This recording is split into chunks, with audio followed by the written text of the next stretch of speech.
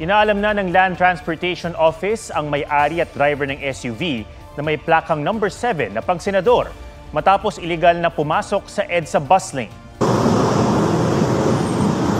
Sir, sir, sakit lang po, sakit lang. Sakit lang, sir. Naabante mo eh. Sakit lang.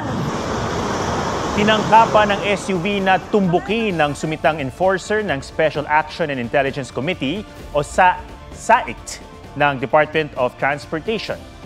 Hindi kita sa video kung may senador na lula ng SUV pero nakita ang mukha ng isa nitong sakay.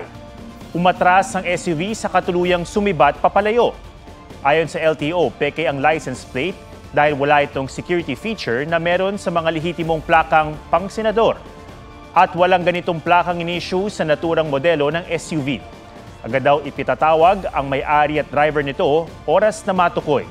Sabi naman ni Senate President Cheese Escudero kung senador nga ang may-ari ng SUV, sana magkusa na itong iharap ang nagmaneho. Kailangan lamang naman nila i-presenta yung sarili nila, magbayad ng fine, at uh, kung may paglabag dun sa paggamit ng uh, protocol plate ay isurrender yung protocol plate. Clearly may nilabag sa bat na batas yung SUV yon na dapat panagutan.